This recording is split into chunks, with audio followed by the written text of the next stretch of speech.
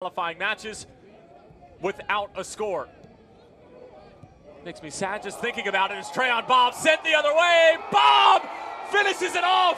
It took 18 seconds into the second half, and Trayon Bobb gets the first goal in CONCACAF Nations League qualifying history.